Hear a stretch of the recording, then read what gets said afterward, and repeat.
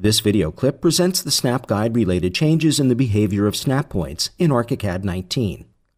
Along with the introduction of snap guides, there are some slight changes in the behavior of snap points. First, the name of these input aids has been modified from special snap points to simply snap points in order to make their naming consistent with the naming of snap references and snap guides. The way snap points continue to work is that they immediately appear on an element edge when we hover the cursor, and if we move the cursor away from the element edge, they disappear after a few seconds. However, they can now be kept from disappearing with the help of snap references. When you hover your cursor over an element edge, the snap points appear immediately. If you also mark the edge as a snap reference, the snap points will remain there as long as the edge is marked as a snap reference.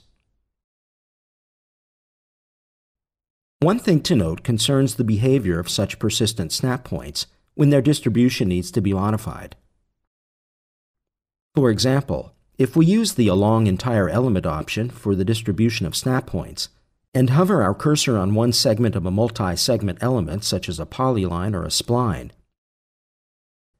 snap points are distributed along the entire element, but only one of its segments is marked as a snap reference. If we now want to have snap points distributed and displayed permanently along the marked edge, we have to first unmark the edge as a snap reference. Change the snap guide distribution method, and remark the edge as a snap reference.